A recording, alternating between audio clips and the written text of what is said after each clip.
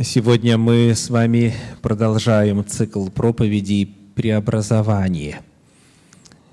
Уже у нас в этом цикле прозвучали следующие темы. Во-первых, это цель жизни с Богом.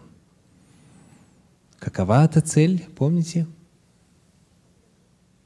Преобразование – уподобление Господу, возвращение в первозданный образ Божий, цель жизни с Господом. Это богоподобие. Вторая проповедь называлась, кто помнит как, псевдодуховность.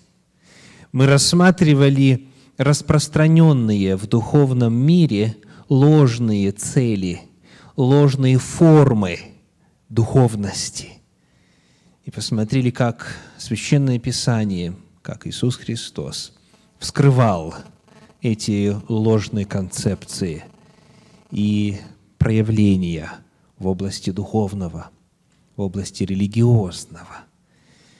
Далее мы с вами исследовали тему «Механизм преобразования» в минувшую субботу – Скажите, кто совершает работу преобразования согласно Библии? Господь. Бог это делает. Это только Ему под силу. Человек как ни старается, даже с самой крепкой волей, не может себя основательно и надолго изменить. Но что может делать человек – это создать условия, при которых Бог мог бы действовать, воздействовать на него, действовать в нем и помогать ему духовно расти. Подобно тому, как семя может расти благодаря жизни, которая находится в нем, в самом семени – а человек только может создать условия, земледелец может только создать необходимую среду для этого роста, точно так же и в духовной жизни. Человек не в состоянии себя поменять. Грех искоренить из своей жизни он не может сам. Но что он может сделать? Он может сделать себя доступным для Бога. Он может подготовить почву соответствующим образом. Он может создать среду, создать условия, в которых Бог действует, и таким образом взращивает его, помогает ему.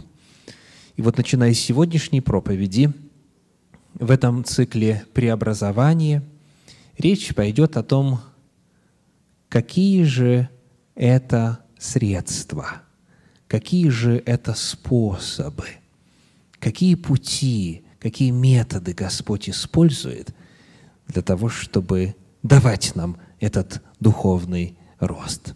Мы начинаем рассматривать вопрос инструментов, которые находятся в Божьем арсенале, чтобы человека духовно возрастить. И первое, что является неизбежным в исследовании этой темы и основополагающим – это священные писания.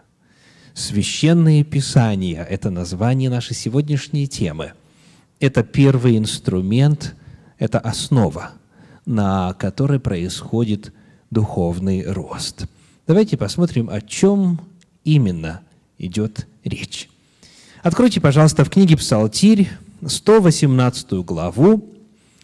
Книга «Псалтирь», глава 118, мы прочитаем стих 11, Псалом 118, 11.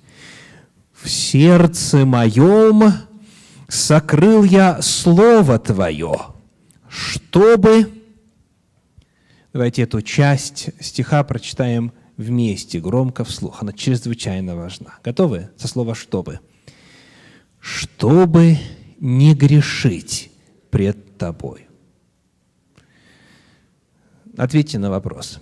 чтобы не грешить пред Господом. Что необходимо согласно этому стиху? Слово Божье сокрыть в сердце. Слово Божье разместить в сердце.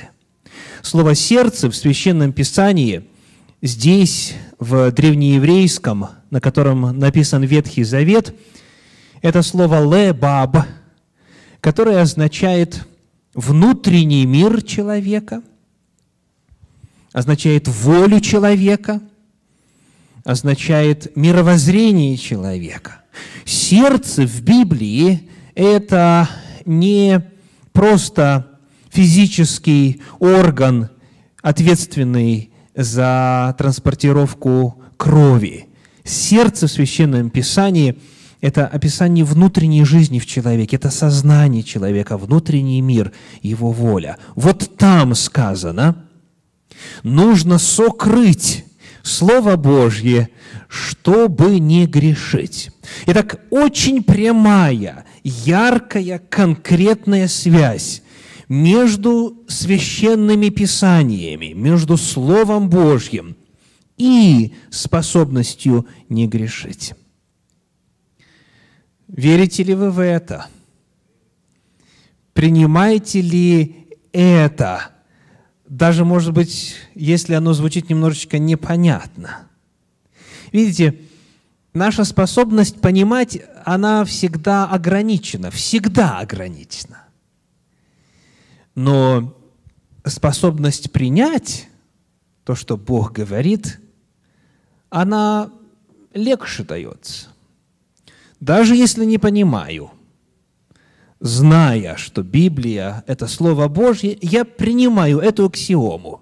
Чтобы не грешить, мне нужно, чтобы вот это Слово Божье было сокрыто в моем сердце.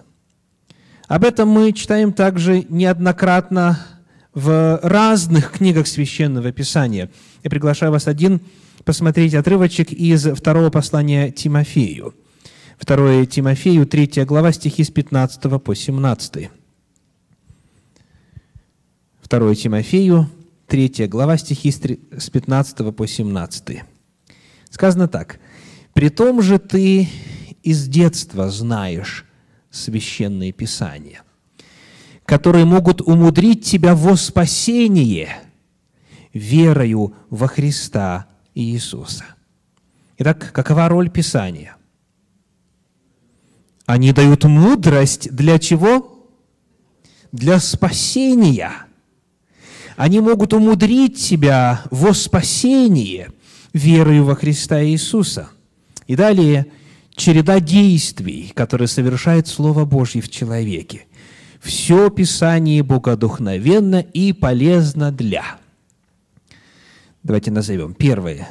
Для научения, для обличения, для исправления, для наставления в праведности. Слово Божье научает, обличает, то есть указывает на неверные представления, на то, что не соответствует в человеке воле Божьей. Дальше оно что делает? Исправляет. Представляете? Оно исправляет.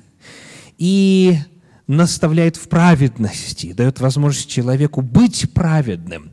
И вот цель, 17 стих, «Да будет совершен Божий человек, ко всякому доброму делу приготовлен». Вот роль Священного Писания. Вот какова роль Слова Божия в преобразовании человеческой личности. Научает, обличает, исправляет, наставляет в праведности,